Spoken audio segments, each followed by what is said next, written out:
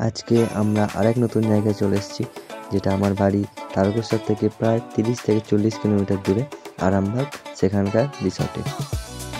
তো এই আরামবাগ রিসর্টের যাবতীয় তথ্য আমি এই ভিডিওর মাধ্যমে আপনাদের বলব, তো ভিডিওটি শেষ পর্যন্ত দেখতে থাকুন।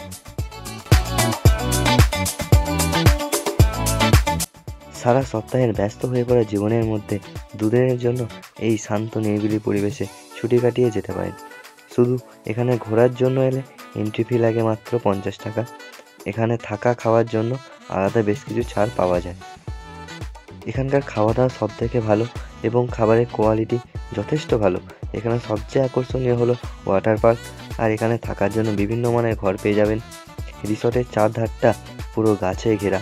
শহর থেকে সরে এসে একদম নিবিড় পরিবেশ সৃষ্টি করে রয়েছে যেন এই রিসর্ট।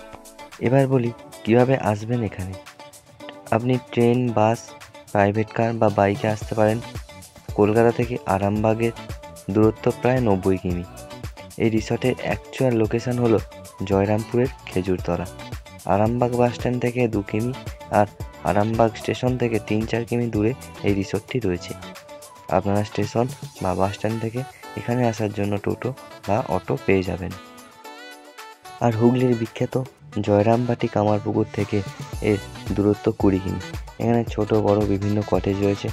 আছে একটা ট্রে হাউস একটা স্টেজ যেখানে নানা অনুষ্ঠান পালন হয়। এখানে সুইমিং পুলে নামতে হলে লাগবে চারশো পঞ্চাশ টাকা। এখানে বিভিন্ন সুইমিং পুল রয়েছে, যেখানে আট থেকে আশি সবাই এখানে নামতে পারবেন এবং সুইমিং পুলের মজা নিতে পারবেন।